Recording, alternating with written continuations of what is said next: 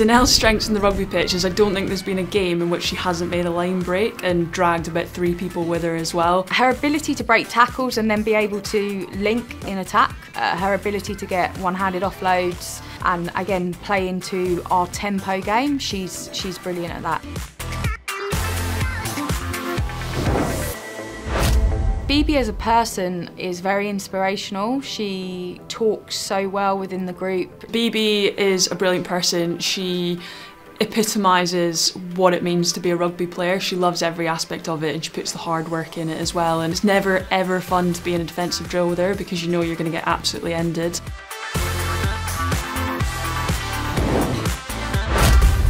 Ellie's strength is her variability and her confidence to make decisions in the moment. She's a creative player that looks for those opportunities and wants to bring that flair, which she does very well.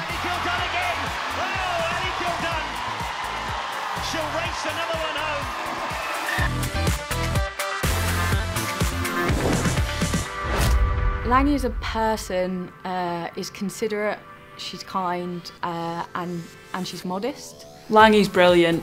Um, she's just a great person to be around.